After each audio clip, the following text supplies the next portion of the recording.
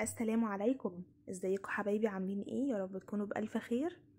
النهارده بقى إن شاء الله أول حاجة هعملها كوبايتين القهوة واحدة ليا واحدة لماما.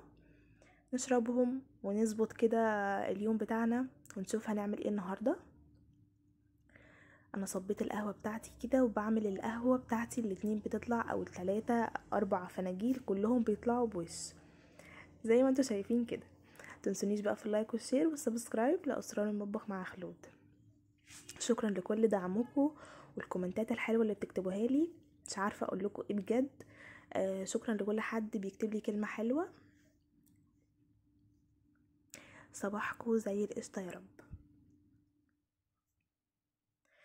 زي ما أنتوا شايفين كده هعمل سمك مكاريل الصينية بالخلطة بتاعتي الجبارة مع سلطة. خضرة وعملت كمان لماما سمك بولتي متحمر سمكتين بس وعملت الرز الصيادية بتاعنا. هقول لكم كل الخطوات. نقول أول حاجة كده بسم الله الرحمن الرحيم ونبدأ في الأكل بتاعنا. أول حاجة أنا بعملها الخلطة بتاعت السمك. خدت أربع قرون فلفل أحمر كده أو خمسة على حسب برضو انت بتعملي قد إيه الكمية بتاعتك وحطيت عليه راس توم كاملة متقشرة. هنزل عليه بالبهارات بتاعتي. طبعا أول ما بنقول سمك بنقول خل ملح كمون. بالشكل ده حطيتهم في الخلاط وهجيبهم لكم دلوقتي هوريه لكم. السمك بتاعي مغسول جدا من جوه كويس قوي قوي قوي منقوع لمدة دقيقتين في مية بخل وشايلة منه الراس. الخلطة بتاعتي أهي. بعد ما طحنتها كويس في الخلاط أو في الكبة بتاعتك. عايزه بقى أقول لكم ريحتها توصل لك كده من الفيديو. جيب بقى سمك البولتي الأول بعد ما غسلته طبعا وأنا كنت مقطعاه كده حشيته بنفس الخلطة دي وهحطه على جنب. الخلطة دي هعمل منها سمك المكاريل الصينية بتاعته وهعمل منها السمك البولتي. هحطه بقى على جنب بالشكل ده أسيبه بقى على جنب. جبت السمك بتاعي طبعا بعد ما اتغسل حلو. حشيت القلب بتاعه كله كده. من بره ومن جوه. غرقي السمكة من جوه كمان آه بالخلطة بتاعتك. سبت بقية الخلطة بتاعتي نزلتها في البولة. حط عليها بصل متقطع كده حلق. أنا فرغته كده بالشكل ده وهنزل عليه. على التوم والحاجة بتاعتي أو الخلطة بتاعتي. بيه وحطيت عليه كمان طماطم متقطعة حلق. عليه الكرفس بقى بتاعك الكزبرة. يعني الكرفس بيدي طعم حلو قوي للسمك. سمك يعني كرفس. وحطيته ونزلت عليهم بال قلبته كده بالشكل اللي أنتوا شايفينه ده. حطيت عليه 3 معالق من الزيت عشان يدي للسمك كده لمعة حلوة ويديله تحميرة حلوة. حطيت بقى في الصينية بتاعتي من تحت كده زي ما أنتوا شايفين وحشيت القلب بتاعه كمان. وهبدأ أرصهم واحدة عكس واحدة. بالشكل دوت. شكله مبهج قوي وعايزة أقول لكم كمان ريحته وطعمه بتبقى حلوة قوي. حطيت بقية الخلطة بتاعتي على الوش كده بالشكل ده. غرقي كده الصينية بتاعتك. شكله بيبقى حلو قوي قوي قوي. ولعت بقى النار عليه لمدة عشر دقايق النار من فوق عادي بس تكوني مغطية الصينية دي. وبعدين هدخله الفرن يكمل سوا. حطي بس معاه كده ربع فنجان من المية من الجنب كده. وهغطيه. تعالوا بقى نعمل مع بعض الرز الصيادية. حطيت الزيت في الحلة بتاعتي. وبعدين هنزل عليه ببصلاية كبيرة متقطعة صغير. أو مفرومة. اللي تفضليه اعمليه. هفضل أقلب فيها كده والعب كده فيها.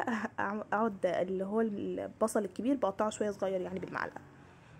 وأروح أول ما يبقى لونه ذهبي أنزل عليه بالمية بتاعتي. المية بتاعتي بتكون مقدارها حسب الرز. أنا النهارده عاملة أربع كوبايات من الرز. حطيت أربع كوبايات من المية. هنزل عليها باتنين مرقة دجاج وادوبها كده فيها وبعدين انزل بقى بالفلفل الأسود بالملح وأقلب كده. تعالوا نشوف السمك بتاعنا. بصوا السمك عمل إزاي بعد ما بدأ يغلي كده. أروح مدخلاه الفرن. نرجع تاني للرز. بعد ما المية غليت أنزل بقى بالرز بتاعي وأقلبها حلو جدا. كل ده على نار عالية. أول ما الرز بتاعك يتشرب وهدي النار عليه خالص وغطيه طبعا علشان يستوي براحته. السمك أهو خلاص بعد ما شرب ميته كلها دخله بقى الفرن لحد ما ياخد لون من فوق. جبت الزيت بتاعي وهبدأ أحمر السمك البلطي أنا طبعا حطيته في الدقيق بس وبنفضه كويس جدا وبعدين بنزل في الزيت بالشكل ده. أول ما بياخد لون من الحروف بتاعته أو لون الحروف بتاعته تتغير الحروف بتاعته أول ما لونها تاخد اللون البامبي كده شوية أو الذهبي زي ما بنقول بروح قلبها على الناحية التانية. قلبته بالشكل ده.